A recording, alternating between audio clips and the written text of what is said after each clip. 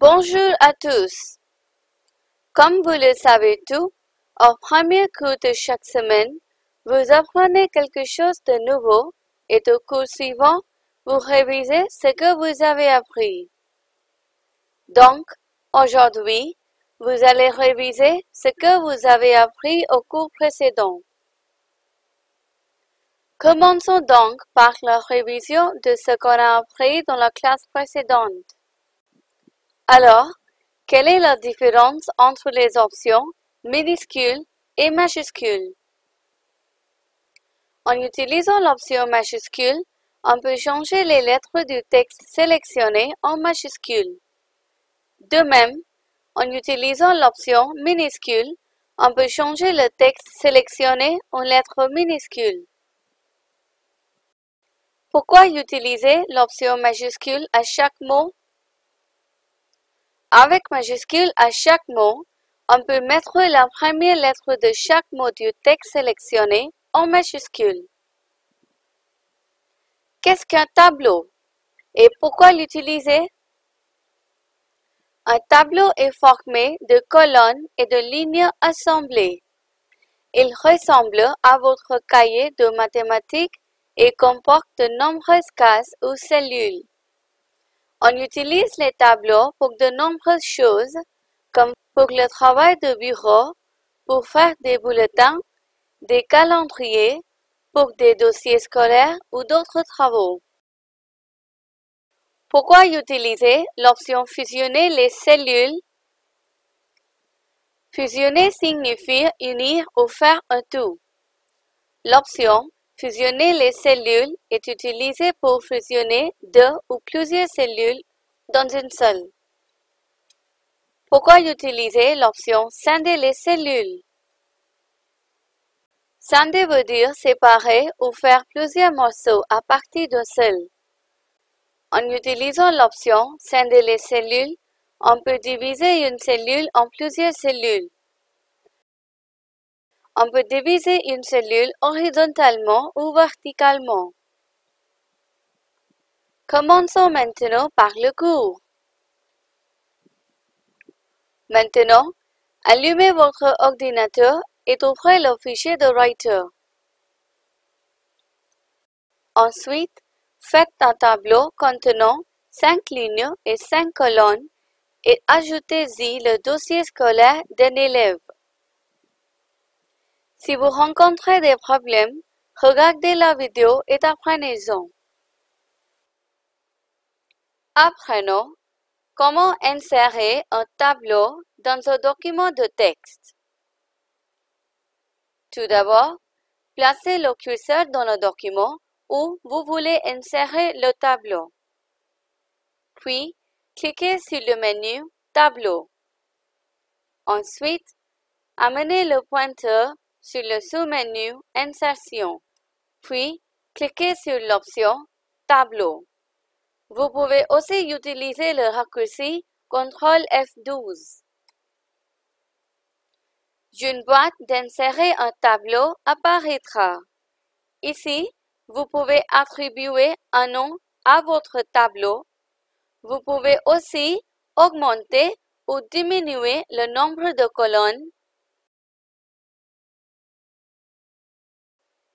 puis augmenter le nombre de lignes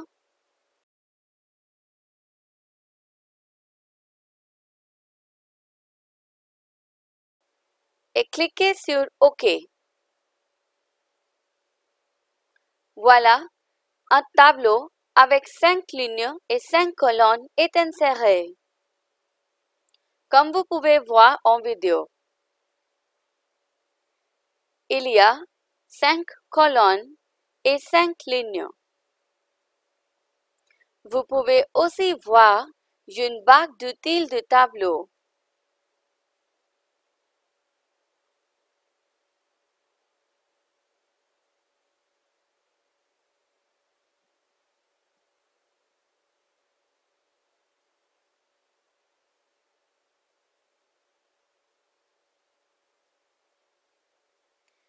Notez que si vous cliquez à l'intérieur du tableau, la barre d'outils de tableau apparaîtra avec les différentes options.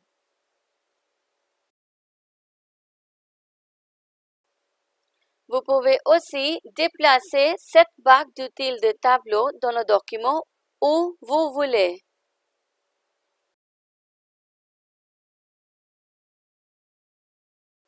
Maintenant, vous pouvez voir les options de barre d'outils de tableau à côté de la barre d'outils de formatage.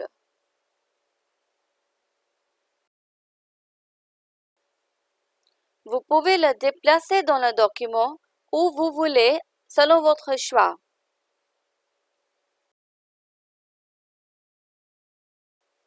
Alors, c'est comme ça, nous pouvons insérer un tableau dans un document de texte.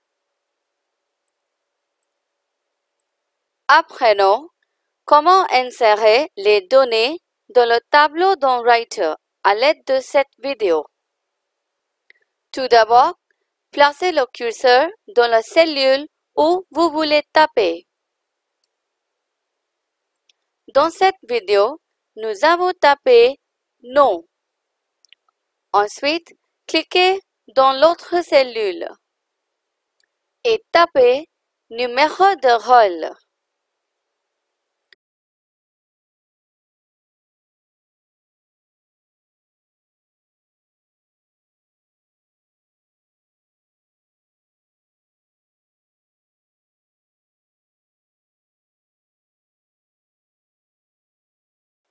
Ensuite, cliquez dans la cellule de la troisième colonne. Ensuite, cliquez dans la première cellule de la troisième colonne et tapez Mathématiques.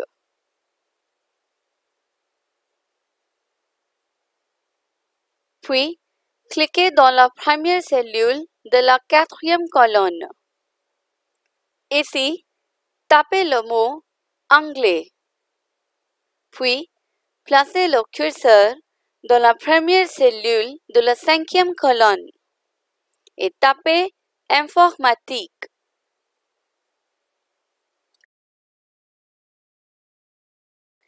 Maintenant, nous avons cinq rubriques dans ce tableau. Alors, nous allons taper les données selon les rubriques. Sous la rubrique nom, vous devez taper le nom des personnes, comme Jeanne,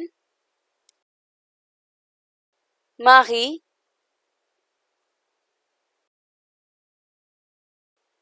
Nicolas,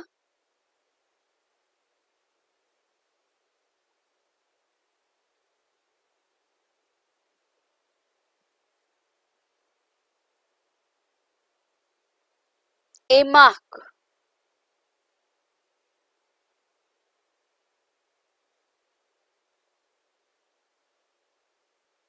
Ensuite, vous devez taper le numéro de rôle de chaque personne. Tapez les notes qu'ils sont obtenues en mathématiques.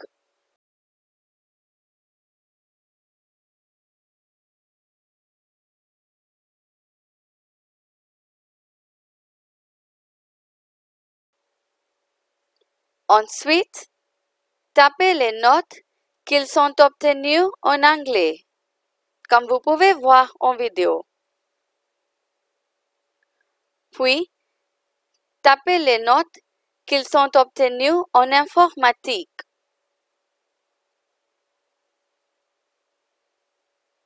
Alors, les données de chaque personne est insérées dans ce tableau.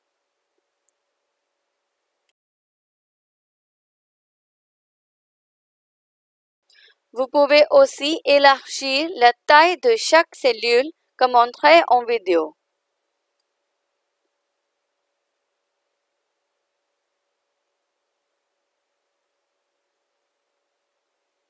Puis, sélectionnez le tableau entier en utilisant le souris ou pavé tactile. Ensuite, cliquez sur le menu déroulant de l'option Taille situé dans la barre de formatage. et sélectionnez la taille de votre choix. Voilà, la taille du texte est changée. Notez que si vous trouvez que l'orthographe d'un mot n'est pas correcte, il vous suffit de faire un clic droit à l'intérieur de ce mot et vous obtiendrez une liste de mots apparentés, à partir de laquelle vous pouvez sélectionner le mot correct. Alors, c'est comme ça, nous pouvons insérer les données dans le tableau Writer. Maintenant, vous allez montrer que vous pouvez insérer une nouvelle ligne au-dessus de la toute première ligne.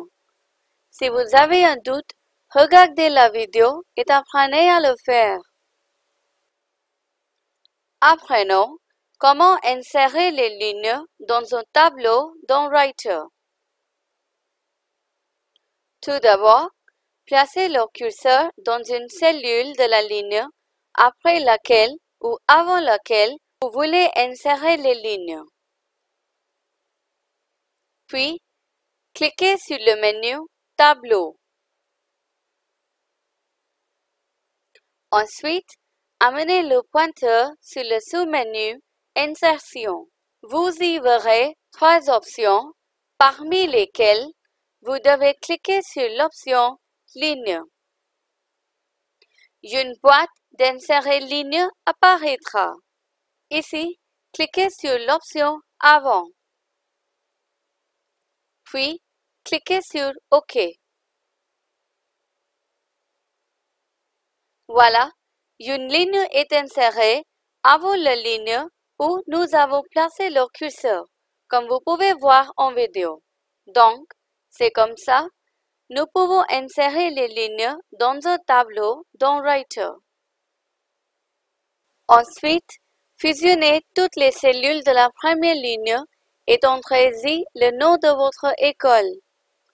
Si vous rencontrez un problème, regardez la vidéo pour en savoir plus.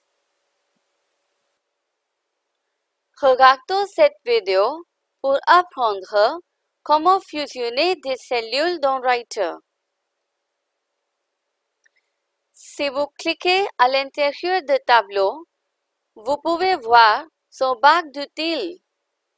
Tout d'abord, sélectionnez les cellules que vous voulez fusionner. Ici, nous avons sélectionné cinq cellules. Vous pouvez soit cliquer sur l'option Fusionner les cellules dans la barre d'outils de tableau, soit utiliser le menu Tableau. En ce moment, cliquez sur le menu Tableau. Puis, cliquez sur le sous-menu Fusionner les cellules. Voilà, toutes les cellules que nous avons sélectionnées sont maintenant fusionnées, comme vous pouvez voir en vidéo.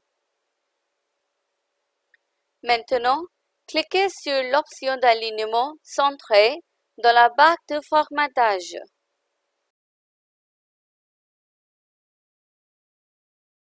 Ensuite, tapez le mot Dossier de l'élève dans la cellule que nous venons de fusionner.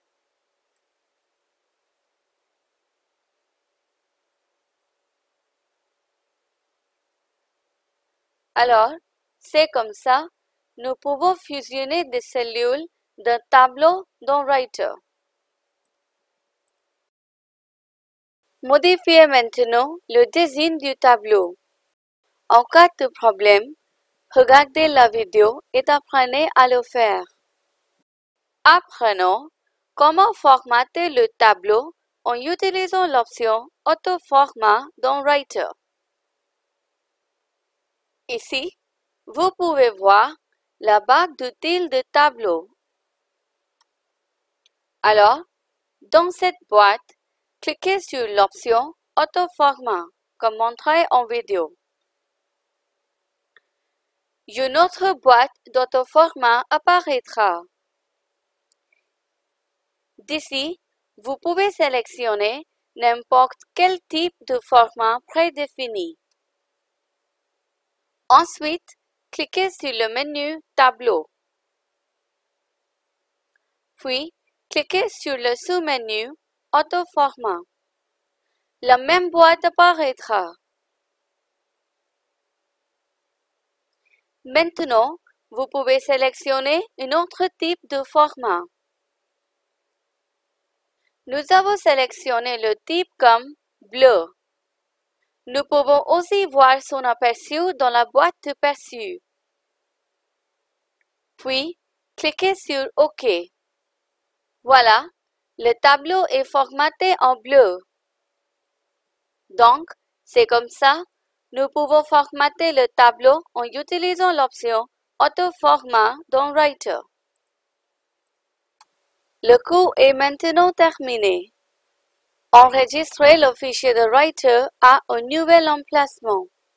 En cas de doute, demandez à l'aide de votre professeur. Maintenant, éteignez correctement votre ordinateur. Aujourd'hui, vous avez pratiqué l'utilisation de l'option Modifier la casse et les options du menu Tableau, comme Insertion de tableau, Fusionner les cellules et Autoformat. Alors, bonne journée et à bientôt